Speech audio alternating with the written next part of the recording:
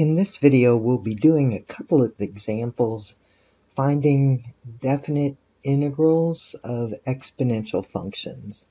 Our first example is to evaluate the definite integral from 0 to 1 of e to the negative x dx. Now we first need to um, let u be equal to a negative x then the derivative of this equation would be du is equal to a negative dx. And we need to sub in for dx, so let me divide both sides by negative 1. We have a negative du is equal to dx. Now in this problem we have a lower limit x equal to 0 and an upper limit of x equal to 1. So to find our u substitution for that, we um, have u equal negative x. So u is equal to a negative 0, but 0 doesn't have a sign, so u is equal to 0. And then on this one, u is equal to a negative 1. This is going to become the integral 0 to negative 1 of e to the u and then in place of dx we'll put negative du.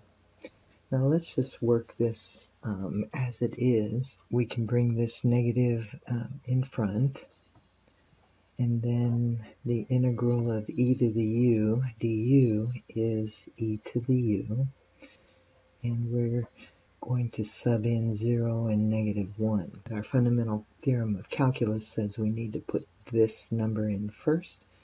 So we have a negative e to the negative 1 power, subtract, and then put this number in, so e to the 0.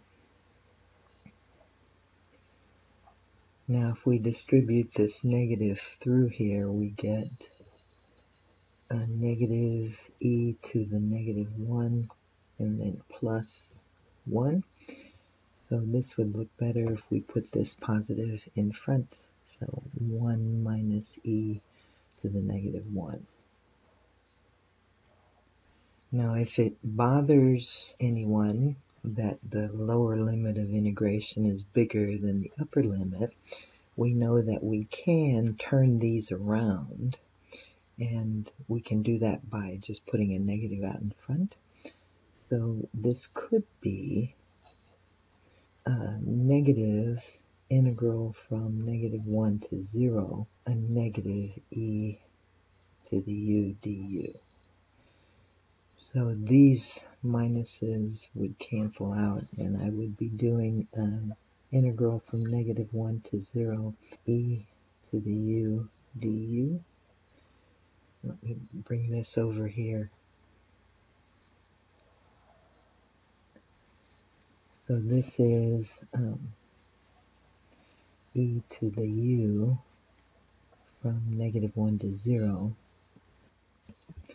Um, if we put our 0 in first, this is e to the 0 minus e to the negative 1 which is what we'll get here. And this is 1 minus e to the negative 1. So either way we do it, let's do another example. On this one, we're asked to evaluate the integral from 0 to 1 of e to the x divided by 1 plus e to the x dx. Now let's let u equal 1 plus e to the x. Then du will be, this is 0, so just e to the x dx. And there's my e to the x dx.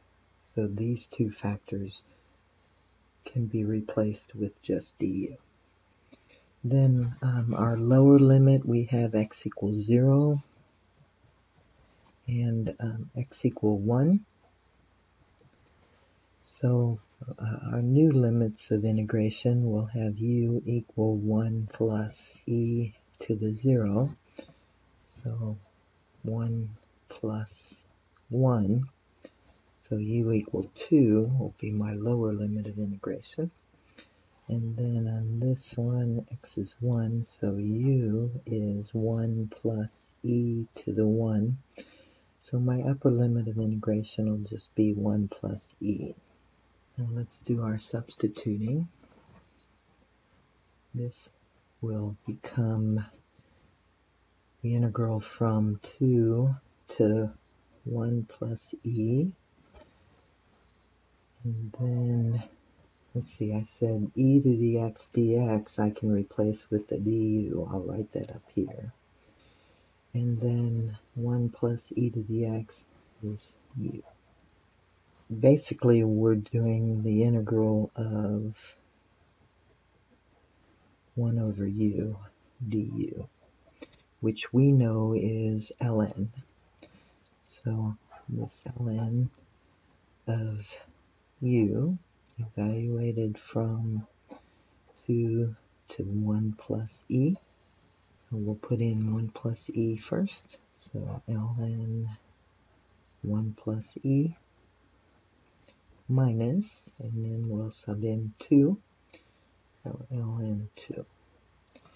Now we're not quite done. Remember that the difference of logarithms is equal to the log of the quotient. So this uh, can be written as the ln of the quotient 1 plus e divided by 2.